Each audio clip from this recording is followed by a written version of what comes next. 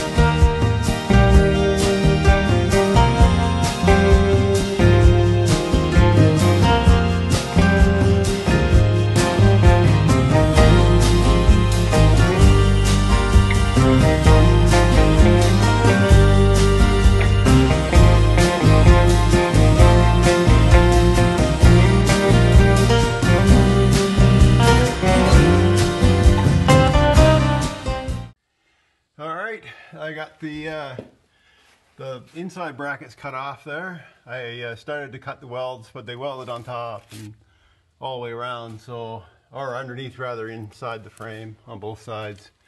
And uh, yeah, I don't need that little tab of metal, so I just cut them off. Um, so anyway, now we'll be going in here further. Um, it looks like they've only had a bubblegum weld in there, so I'm going to tackle uh, you can see it there or not. Yeah, they've got a weld in there. Uh, they don't look very solid. So I think I'm going to uh, cut the, uh, or take the bolts out and then tackle. See that one there is, is broke already. So I think I'll take the bolts out and see if the bumper will move. If not, I'll just cut the, I'll just cut this right off here. Slip it off and it'll be all good and this will be stuck up in there. And I can take that down later but I think once I get the bumper loose this will twist off. All right back to you when it's uh, ready to come off. Um, just so I'm here I, I use these. Uh, this is a turbo torch. I can see it right there. Uh, I bought this in the 80s um, I used the MAPP gas that was originally for just the blue bottles. This is the MAPP gas is a little hotter and I found this works this works well for what I do. Um, yeah, there's times I'd like to have had an acetylene and oxygen, um, but hey, I don't have And I don't use it enough to make it worthwhile. And then I also use this.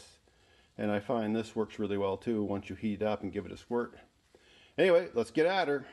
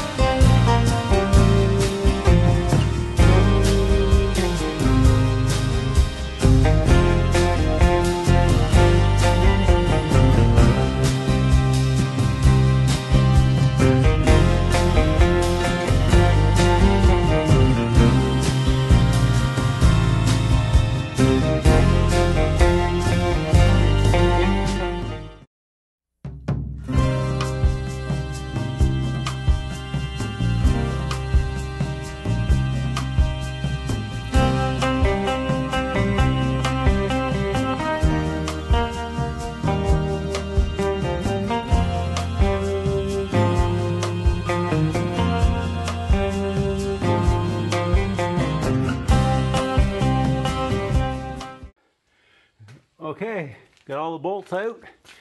Um, this one's a tough one up in here, it's a lot tougher. I put one bolt back in just to hold the side. I don't think it's gonna have a problem staying on. So now I'll take the the fire fire guard down and I'll see if I can drop this somehow. I think there's only the two bolts in it. Man, that's what happens when you're dealing with rusty cars. All right, we'll see if we can get her down. Hang in there. Yeah, so I'm gonna set the plasma cutter up and I'm gonna, I can see this or not, right in there. I'm gonna snip this all off. I'll get it till it falls off if I have to. I was trying to save as much as I could, but I don't know, really know why. I like to work hard, I guess. Anyway, so I'm gonna plasma it out until it falls off. All right, I'll see if I can set up the uh, time lapse for that. Okay, I'm all set up to uh, go at this with the plasma cutter. That one right here, it's a, it's a cut 50 DP uh, Simder. Works pretty good. It, was, wasn't expensive, it's a pretty cheap one. Um, anyway, so I'll, I got my uh, spark guard back up. I should have been using it when I was running the grinder, but hey. So I'm gonna get a pair of glasses on. Um, if I can find my glasses for this job, and they'll get back at her. Hopefully this will take it off. All right.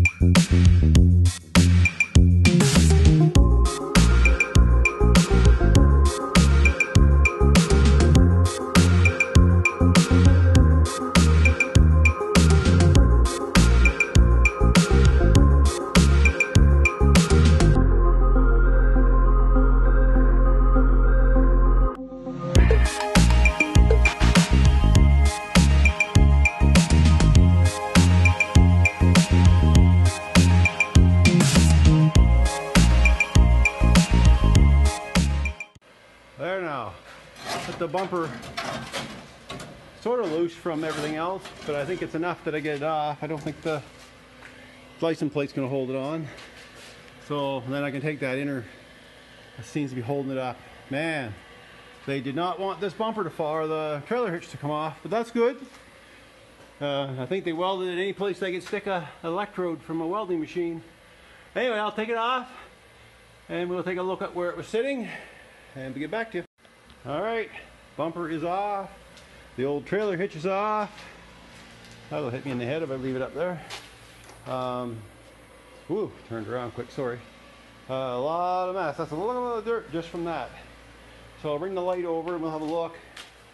And that'll be it for this video once we get a little peek at what's going on here. All right. Oh, there you go. So we got these to repair. Rust there. Obviously, like I said before, there's rust up in the, there. The tailgate's going to have to come off now too. So these are easy to fix. That's easy stuff. Um, this is not hard to fix. It's just tight quarters. Uh, the mounts are there, so they're gonna have to come out of the way. That was a, a, problem when I was heating up the bolts, was those mounts.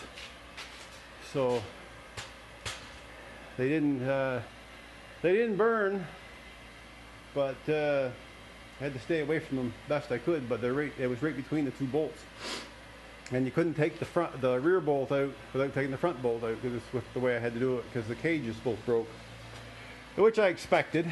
So now there's some clean up on the frame to do. Uh, like I said, it's a great hoist, but it's just a little bit too short for me.